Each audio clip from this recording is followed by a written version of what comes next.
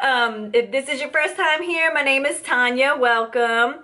Um, and if you haven't subscribed, please do so. I'll give you a moment. Hey, and hit that notification bell so you're notified every time I upload a video.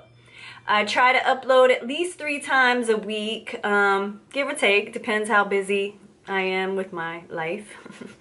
um, today we are going to be doing my beauty room tour. Yay! How exciting is that? Um, yeah, so you'll get to see my beauty room and all of my shit. And hopefully you're interested. If not, you know the way out. anyway, uh, thanks for joining me and hopefully I'll see you next time. So we're stepping into my beauty room and when what you see when you first walk, my printer and shredder. And then I have my office on this side. You can see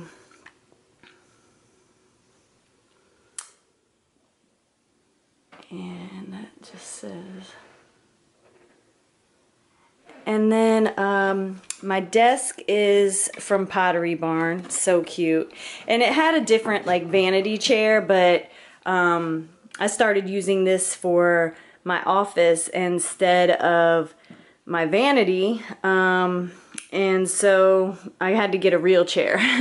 and I love this cute little chair here. It has like some studs, some piping.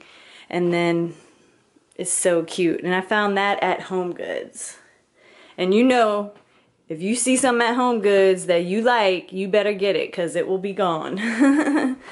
and the mirror, I think I got from like Z Gallerie or something. I'm not sure. I don't really remember. And then I have uh, this chair that my boo got me. He found it at Home Goods and surprised me with it. So I thought that was really cute. And my picture is from, they're from Z Gallerie. Obviously, I love Z Gallerie. Then I have this light that I got online. Um, my little drawers here and my vanity, which you see here, are from Impressions Vanity. And my shelves, you can see I have my little mini camera up there, pineapple, some books, jewelry box, some cute little fun stuff, lots of eyeshadow palettes, a little plastic, you can see my airbrushing machine,